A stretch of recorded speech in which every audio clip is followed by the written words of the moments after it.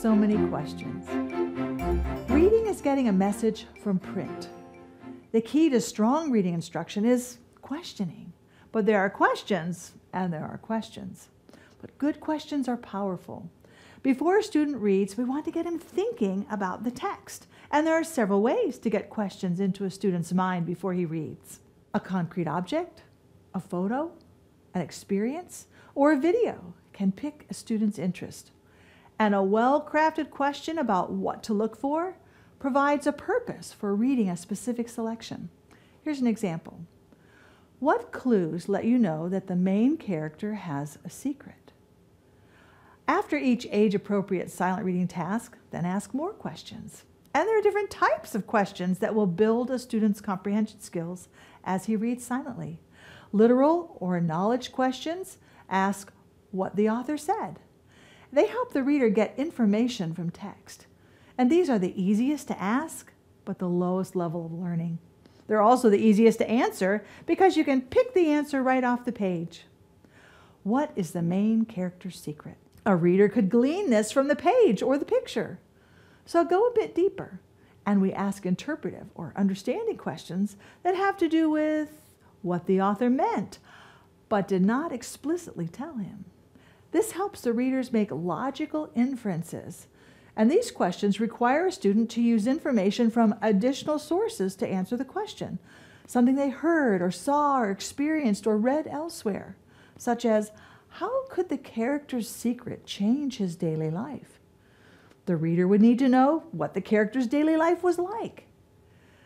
The next two levels develop a reader's higher level thinking skills. Critical or application questions involve what the reader believes. The reader's judgment or opinion often relates to a moral code or a biblical principle. And these questions are the most difficult to answer, but they often lead to great discussions, such as Why do you think it is hard to keep a secret? The reader must learn to evaluate what he reads based on truths that are part of his background and the values that you have instilled in him. And remember to take time to help your student come to the correct conclusion when right and wrong are involved. This is the most important thinking your student will be taught to do. Now, appreciative or experiential questions gauge how the reader responds. The discussions around these questions help you to get to know your student's heart and thoughts, such as Have you ever had a secret? Was it hard to keep?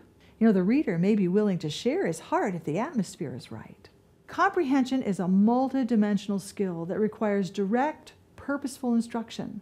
And that instruction begins with teaching children to have questions in their minds before they start reading, while they read, and after they read.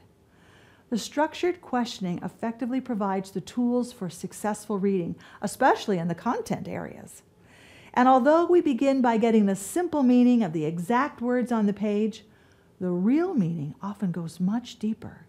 Comprehension includes many stages of interaction, and application of the text, and over time, we increase our emphasis on study skills and strategies for understanding both fiction and nonfiction selections.